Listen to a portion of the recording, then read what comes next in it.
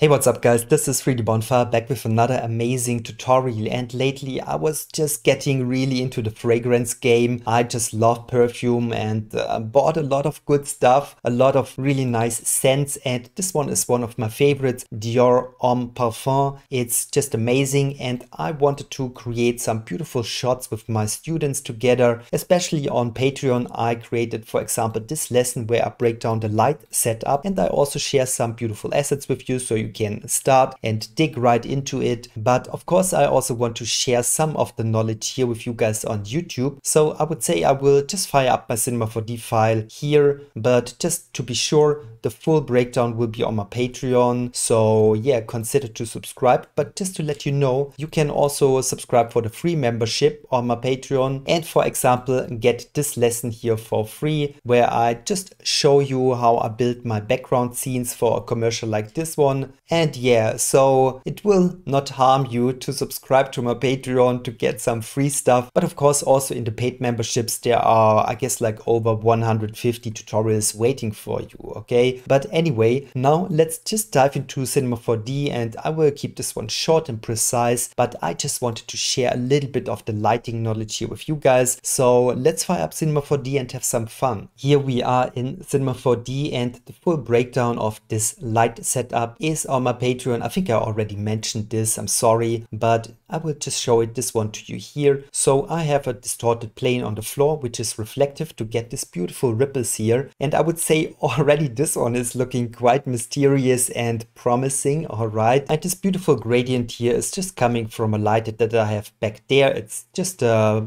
standard light here. Let's just see an area light without any texture or something like that. And a little bit of a more focused spread to get a more focused circle like this one. Otherwise it will just fade out more, but let's just focus this one a little bit. All right, let's see what else do we have here. Okay, this one is pretty important. It is also just an area light back there which is tinted yellowish to get this inside glow here. Okay, that is beautiful. Let's continue here. Again on the back, I have a little bit of a stretched out area light once again to get this horizon line here. Okay, so far it's not that complicated. Let's continue with this light here and it's once again a circular area light with a disc area shape to make it round and beautiful and I will mix all of these ones together here to get an effect like this one okay? Let's continue with probably this one. Let's just see. This one is coming from the bottom and it will give you all of these beautiful refractions that you can see here. And of course this is the power of 3d because you can fake that stuff. So that this light will just exclude the floor and will basically shine through it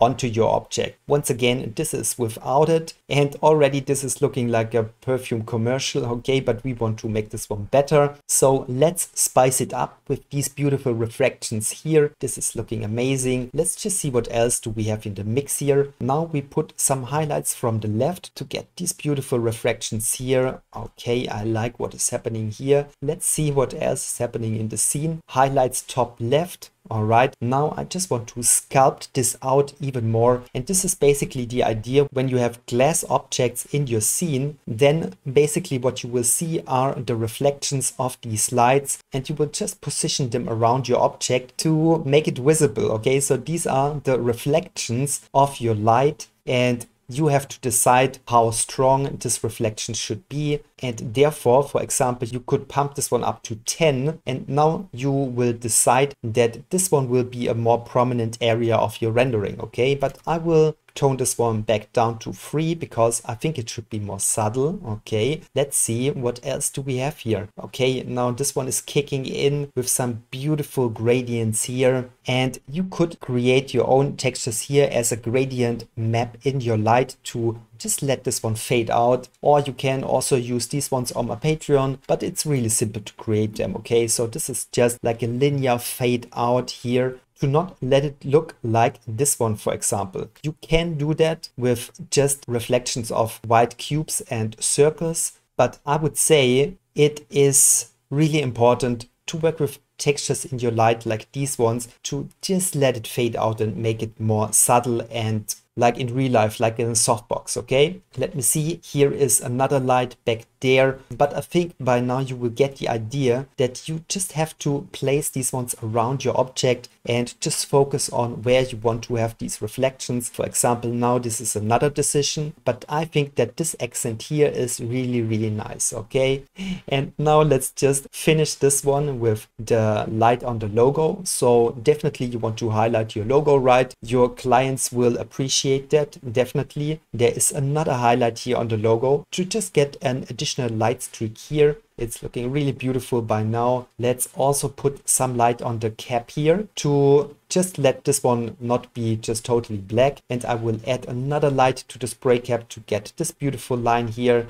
Let me just see what else do we have in the mix. Just a little bit more highlights there, a little bit more reflections and I think that this is the mix of my lights here. I know it is looking really crazy here, but your client doesn't have to see that. They will only see the results and will be amazed by your lighting skills. All right. And by the way, if you want to study this file more, you will find this one also as a download on my Patreon. And then you can just see exactly what I did here. All right. So I hope that you also learned something here on YouTube. Just be sure to subscribe to the free membership on my Patreon to get another another free bonus lesson. And other than that, have an amazing day and uh, be powerful, be prolific. Bye, everyone.